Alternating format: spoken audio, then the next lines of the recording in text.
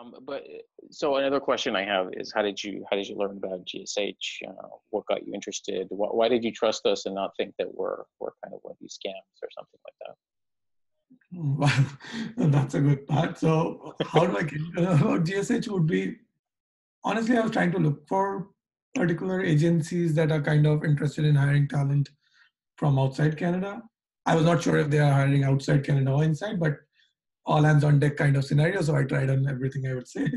But I kind of applied online and wrote a cold email sort of a thing to like six or seven agencies.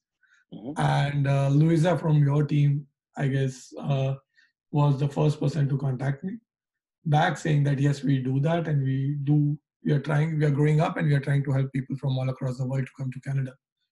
Mm-hmm. And I guess that's what clicked in. And how did I trust whether you guys are scamming me or not? well, I would say I would say it was not exactly a gut feeling. I had a feeling after talking to Louisa that it felt genuine. Because anyways, I was not asked to, uh, you know, do something upfront or come up with something or deposit something upfront. I was just asked to give some sort of interviews and give examinations, give a written, which make me feel like okay this is a serious thing going on and it's not a scam. Because people who are scamming you will not spend their time kind of arranging interviews for you and asking you to give written exams right? That's too much of course. Yeah, yeah. okay okay. That makes sense. That makes sense. So the the the test kind of gave it away. Yeah. that's good.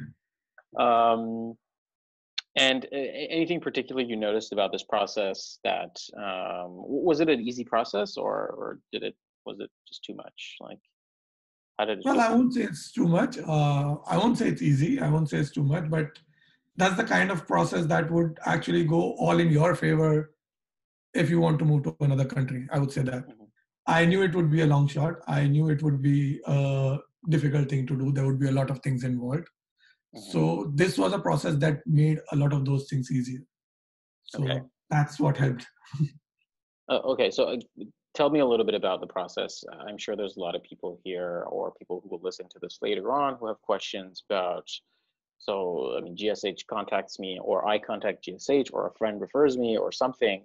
For some reason, they get in touch with us. What does that process look like for them? And uh, tell us what you experienced. Yep. So, I'll say what my experience was. I think the process is ever evolving. I guess with you guys uh, is what I have noticed in the time frame that I have been close to GSH. But what happened with me was I kind of went into the technical round with one of your panelists, then went into a, a coding round as well.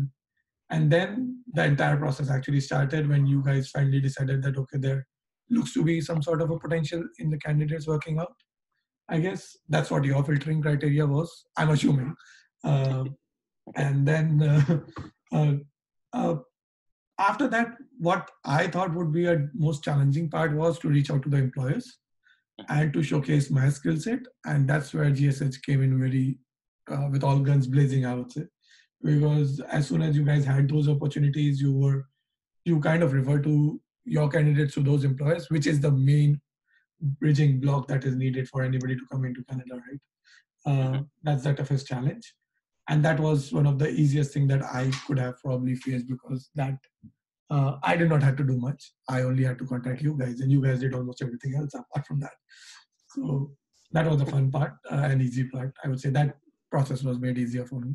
It was it was fun and easy for you but yeah, i wouldn't not for you guys. yeah yeah not for you guys for sure. Yeah. i know how how difficult it would be for you guys with what you guys are trying to do but i appreciate it honestly on that front. Uh, then the next part of the process was next is up to the candidate, right, to kind of clear those client interviews.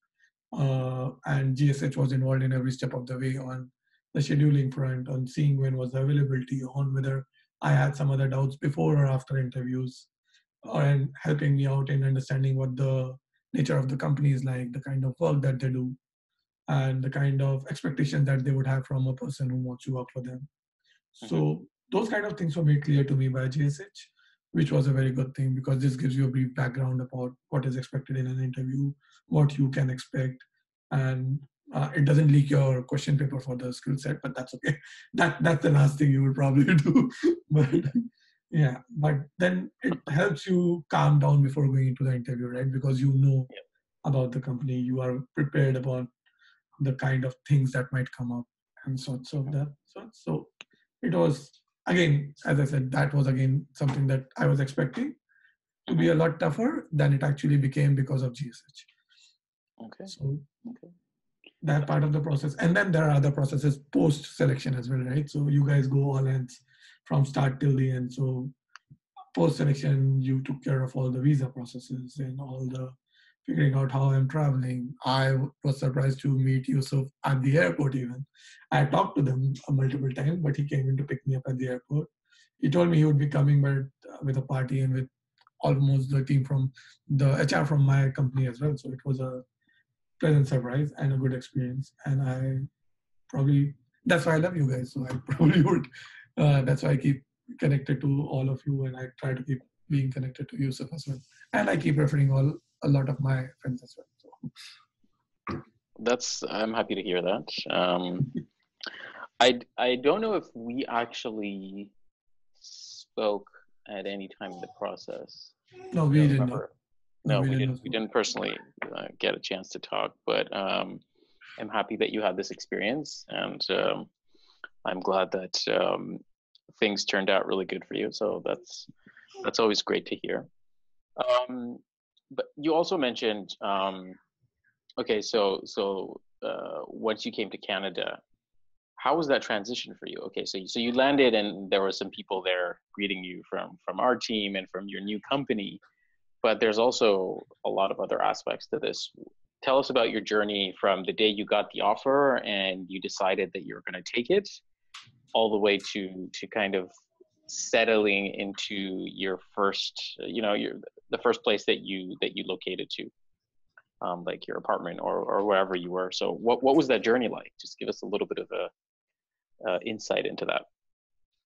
Well, to me it was fun. Uh, I don't know about everybody else who comes in, but uh, I I like to travel, so I was looking forward to it anyways. And uh, settling into new places is not anything that is new for me. So, but that was inside the country. I have moved a couple of cities anyways uh, since I was born, so very familiar with the process there. But coming to Canada, it was a fun part. It was exciting because I was looking forward to it. And then once I kind of got selected, the next part was to figure out how the visa process would go on. That's what took the most, I would say, time. And once all those documents got sorted out and everything, then kind of booking all those tickets, talking to employers. There was a slight mm-hmm. delay on, on my side with the passports issue, so my joining got pushed a little bit, but yeah, everything worked out great for that. And then I kind of booked my tickets as soon as I got my passport, and one week later I was in. So I didn't get much time in between to think about a lot of things. I just packed and came in. okay, okay. So yeah, I guess um, uh, kind of being short on time doesn't doesn't let you kind of properly digest um, uh, yeah, the impact of it. Yeah, and, and, and the impact of it, and, and also overthink and start thinking about, you know, what what if this goes wrong? What if that happens? What if I don't like it, or all these things?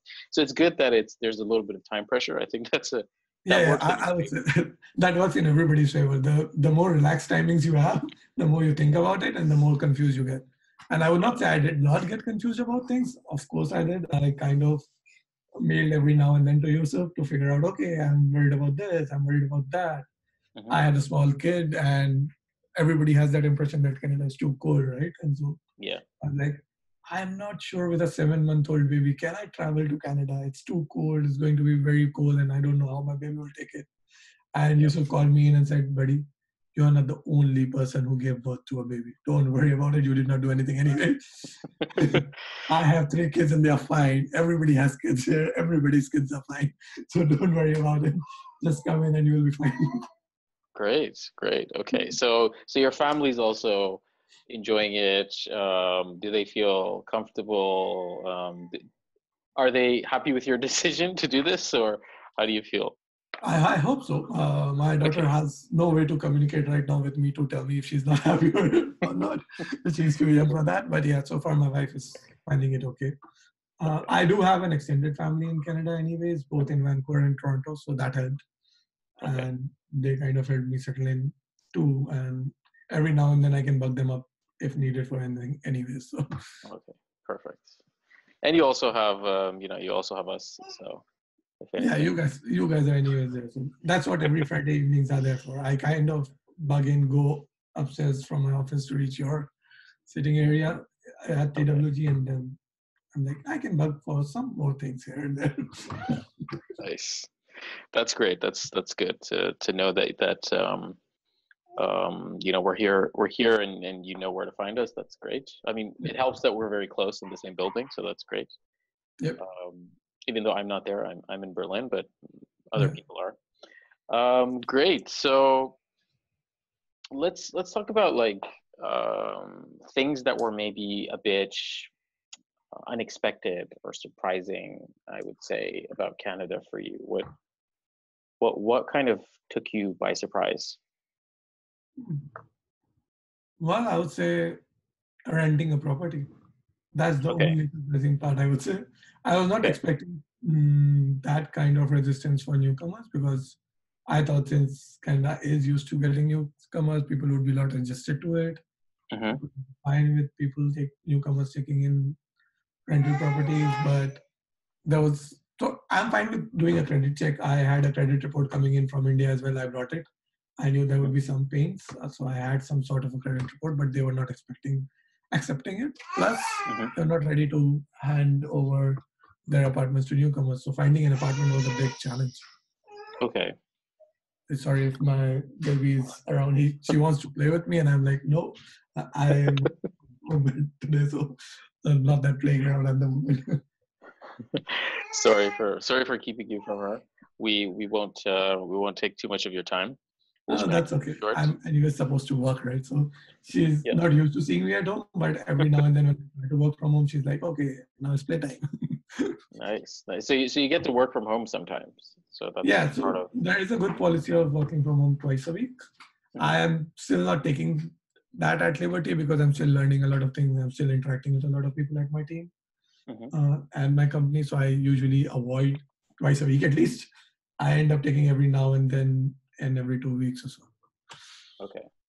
Okay. And your team is super comfortable with that. You don't find that like a challenge in terms of I mean, I guess you're you're still new in the process, so maybe uh, the process, the challenges uh, haven't shown themselves to you. But do you feel like it's something that um, adds value to your work, like having that time to be with your family while you're working, and and kind of being a bit more flexible in your schedule? Oh, um, definitely, definitely that helps. And I would, um, I've been doing it. I've been praising this to anybody that I talk to in my company with the amount of flexibility that they have, the amount of care that they show for their employees. And I guess I'm not sure if just TWG specific, but as far as I've heard, a lot more companies in Canada work that way, where they kind of are very employee friend, employee friendly, so they give you benefits they want. They are more focused upon getting the work done. They don't care about how you get it done. So if you're working from home, they are fine, but provided you're working, which is a good aspect because that gives you a little bit of flexibility to spend some more time with your family. You have a growing kid, so you can cater to their needs as well. And uh, I was told this about TWG, not exactly perks per se like this, but I was told that TWG is a very employee friendly company by you guys. So that's what I guess also helped me making up my mind and kind of moving to that because since I got selected in one of them employee friendly companies, why not give it a shot? Mm-hmm. Yeah, that makes sense. That makes uh, that makes a lot of sense. Um, anything else like uh, about your work experience? Uh, what is what is your um, maybe maybe it makes more sense if you just tell us what does your normal day look like um, when, when you go into the office at, at TWG? Well, at TWG, so a normal day is uh, it's a nine to five kind of a work schedule that I follow. You can follow your own. That's what they say, but that's a nine to five that I generally tend to keep in. Mm-hmm. There are uh, 15 minute stand up meetings every day, uh, which can, so based on the project that you are, the timing is decided. Um, but apart from that, you are allowed to work on your own, research on your own, figure things out on your own. And if you need help, you are allowed to shout out and buzz anybody in your team or anybody in the company. It doesn't matter who you want to talk to. You can go ahead, approach that person, and talk to them. If they are free, they'll respond right then and then, which is usually the case. So people, I am new. I am learning a couple of technologies here as well uh, that I am using, and I have been shifting projects as well. So in three, in kind of three, three and a half months, I'm on my third project right now. Uh-huh. And that helps. That gives me a lot of exposure. That gives me a lot of opportunities to learn a lot of new things.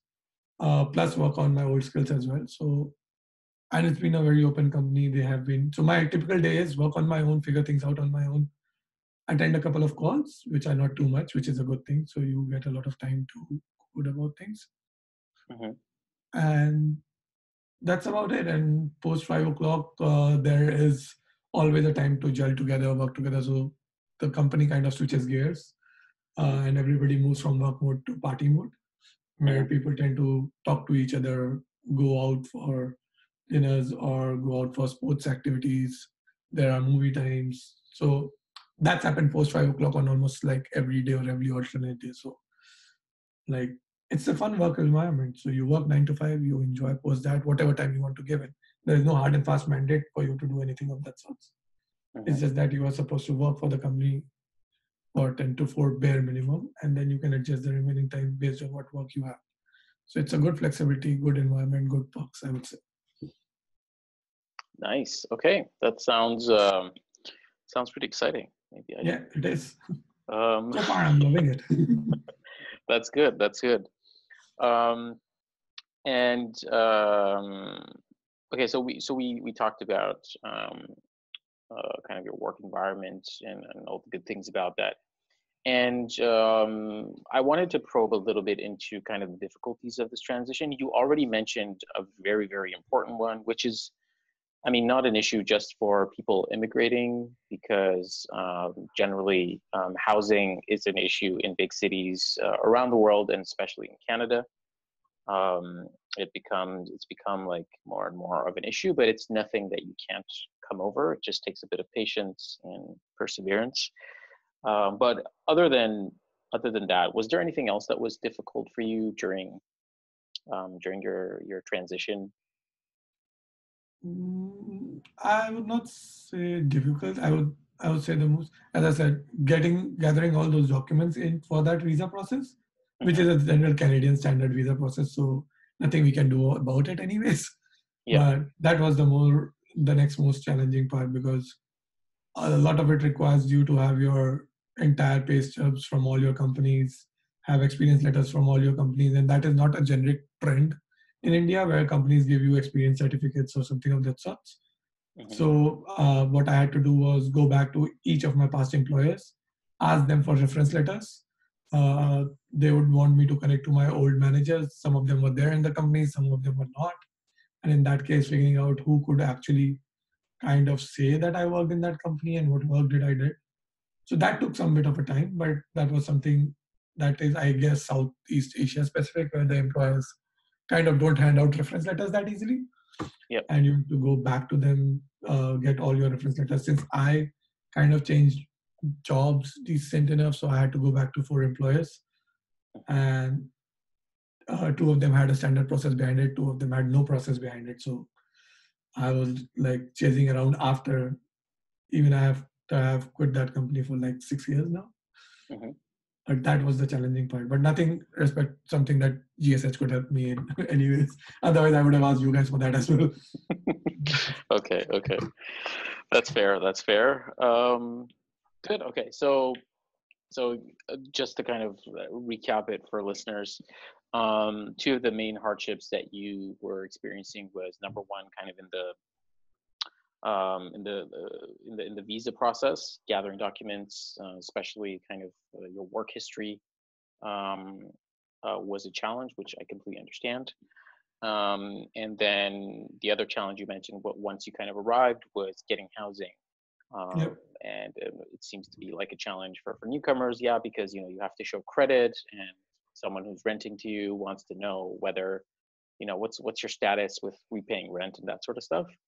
But um, uh, it's it's not an unusual problem. I think it's it's pretty common. So okay, uh, so we covered um, two of the big challenges you've had. I do have um, kind of two final questions that I always ask at the end.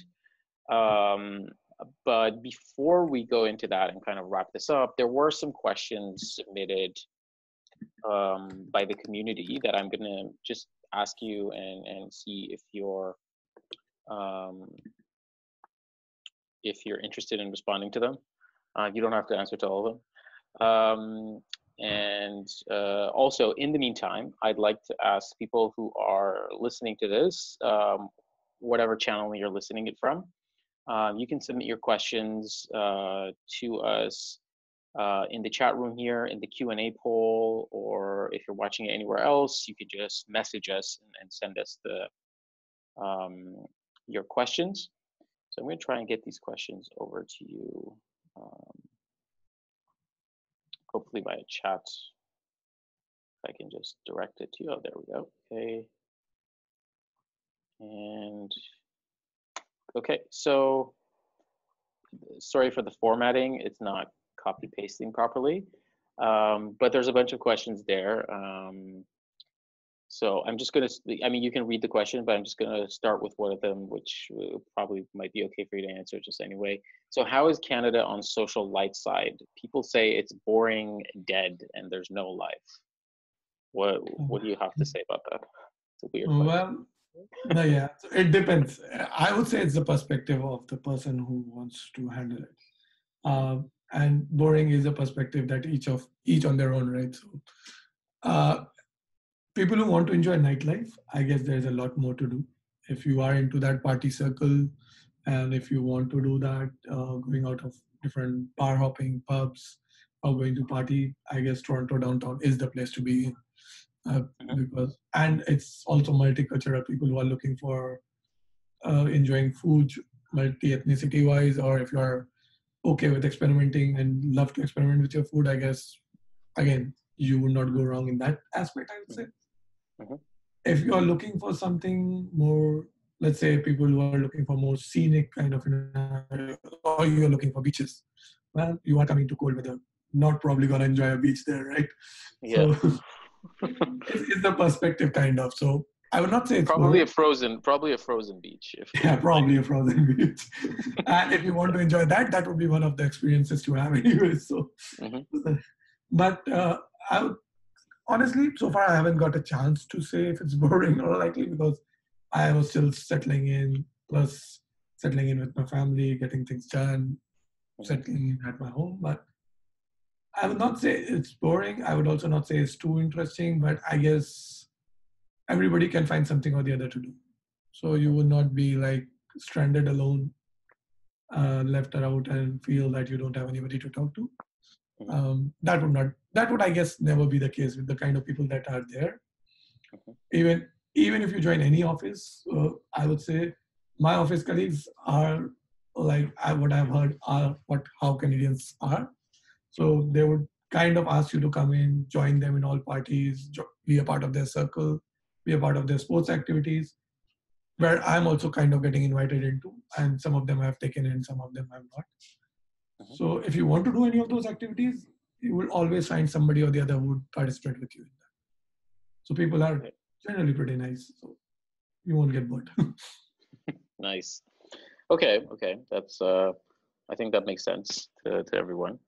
Um, it, by the way, did you get the questions I sent you, or should yeah, I? I got it. I got it. Okay. Okay. So uh, I'm also reading at the same time um, questions that have been sent. So if there's any questions there that you'd like to respond to, um, just go ahead while I'm taking two other questions that we have here. So? Oh, okay, so Nadia seems to have connection issues. Um, I'm assuming the call quality is okay because I, I guess we're hearing each other um, pretty fine. So uh, Nadia, you might have to um, disconnect your audio and reconnect. Sometimes that helps with Zoom. Um, uh, so yeah, I hope that solves your problem. Yeah, I hope so too. Okay, so far so- I'm taking the calls in the standard setup that I have. So I'm hoping that it doesn't. I am used to taking calls this way. yeah. um, so uh, okay, I'm just gonna look at the questions that I sent you. Um, so someone asked about your problem solving and algorithmic skills as um, as a mobile developer. Was it really required to get accepted in the job? If so, how deep have you gone into honing those skills? I mean, we are mobile developers after all, not back end. So, what would be your your response to that? Well, yeah. So this is the question even I had when I was trying to prepare for things. So Mhm. uh, happens, and I would say I'm not very too deep into algorithmic skills. I know my basics around it. I know what algorithms do what. Mhm. And the next thing I would say is uh, people back in Southeast Asia, at least, we have that tendency of taking in mobile developers as in just the guys who work on mobile. And that's not the case here. And that's not the case anywhere outside that region. So here you are supposed to work, apart from mobile, you're supposed to do 10 different things, which includes coding for servers at times, which I've been doing for the past two months now, or even making your own web application if needed. Because uh, it's a small team always for small projects. Uh, not a lot of big clients have big teams, anyways. Uh, so it's not that one person is hardly dedicated to doing only one thing. So it's good to have knowledge. It's good to have that uh, algorithmic background. You are not supposed to know a lot more algorithmically or a theoretical set of knowledge, but I would say it's a definite must have to have a problem solving skills because that's what your tests are based on. That's what all my interviews were based on. And that is definitely for sure needed. Problem solving in terms of how do you handle with a day to day scenario. Mhm. Uh, even if you are required to code for an elevator, for example, you would say, okay, coding for an elevator is easy. It stops at a few, uh, you know, floors. It uh, stops on the press of a button. But it's not that easy. Once you start problem solving it, and once you start writing a, just a dummy algorithm for it, you would realize there are, there are a lot of edge cases to consider for, and those are the kind of questions that do come up in almost every other interview that I've seen. Exactly. That's a great point that you mentioned. And uh, I'd like to add I mean, you've probably experienced this because you, this TWG wasn't the only company you interviewed for, but um, I think almost every company that we work with uh, challenges you those uh, challenges you on, on your problem solving skills. And one way or another um, you know they want to know how how you approach challenges what's your thinking process like um, you know how focused you are how much attention to detail you have um, what kind of solutions you come up with. Um, and so so i think you're going to be faced with this regardless of, of what role you're in and and what kind of um, company you're working at. So i think it, it makes sense to prepare for that. And sometimes it's just a matter of kind of being in the mindset of approaching these challenges um, and kind of brushing up on, on some skills and, and some um, i guess theoretical and also problem solving challenges. There's lots of solutions out there for if you want to practice um, bunch of free ones as well that you can just kind of use to just to give yourself a bit of practice and uh, get ready. Yep. Um, perfect. Okay, so that was one question that was, from my perspective, probably one of the most important ones. Um, so someone asked, "What is your specialty that makes you a success?" I don't know how to um, clarify that question, so maybe just respond to it however you like, however it makes sense to you. Yeah. So even uh, I'm not sure what. So if you see success in terms of uh, getting an offer or moving Mhm. from India to Canada, let's Yeah, rate let's, it let's way. consider that. Yeah, let's say that's that's our Yeah, that's our. So then in that case, I would say my I'm not too special, honestly. I'm an average Joe, if you want to call it. But yeah, uh, before uh, I started to kind of decide to apply for the jobs, I spent a considerable amount of times, you know, honing my skills on problem solving, for example, or uh, creating my profile on Stack Overflow, for example, which is so uh, back in India, we used to take Stack Overflow for granted, where people would say, okay, I have a problem. I am a developer. What do I do? I Google, I go to Stack Overflow, I find the solution, I use that solution in my code, and things work all good. We don't create our profiles in there. We don't ever try to answer questions in there uh, because we feel that we don't have enough time because every everybody has that work pressure. But I guess that work pressure is almost everywhere.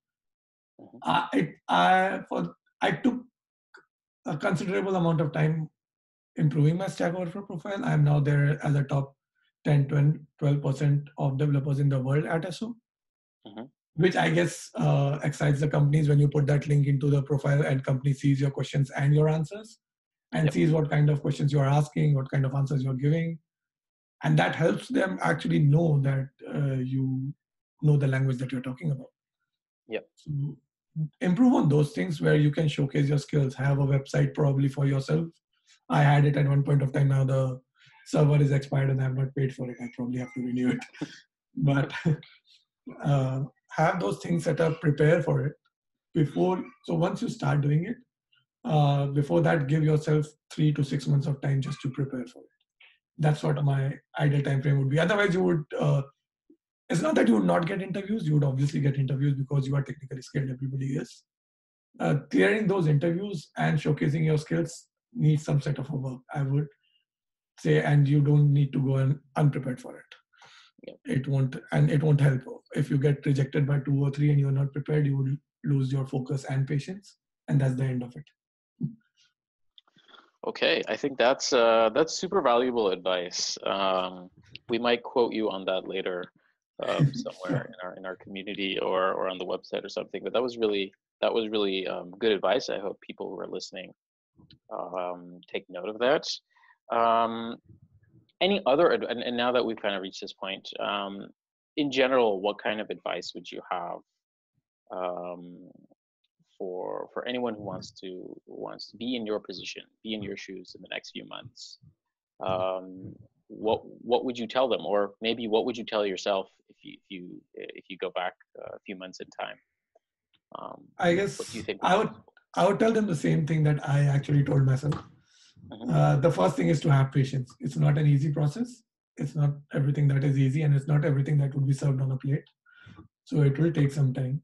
And my process of contacting GSH was in November 2017.